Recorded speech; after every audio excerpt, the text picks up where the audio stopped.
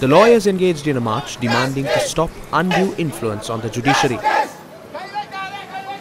Our reporter said that the group then protested for about an hour.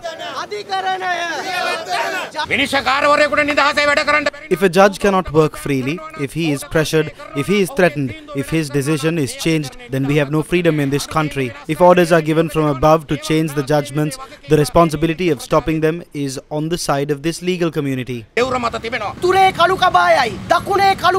would like to remind you that it was a day that when the black cloaks of the north and the black cloaks of the south came together and raised their voice for justice. We all have a fight to win. There is a battle to win democracy. We have to fight that fight together.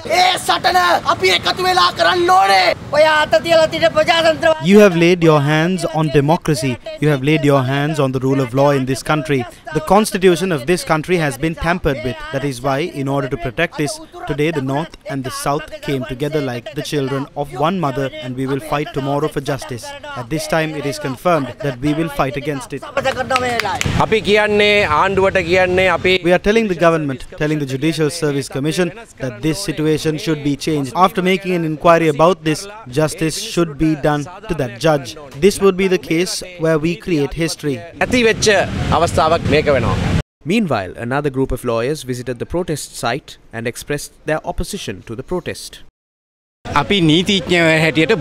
As lawyers, we should act intelligently. Law is the same for everyone. The law should be fair to all. Everyone should be able to listen. As lawyers, we cannot be biased. We don't care about politics. Legally speaking, this judge has given a wrong decision. After that, because he was unable to stay there, he escaped and flew overseas. We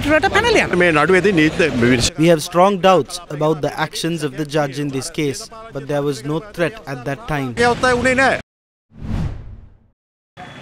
A silent protest was held opposite the Negombo High Court complex today under the theme Do Not Influence the Judiciary.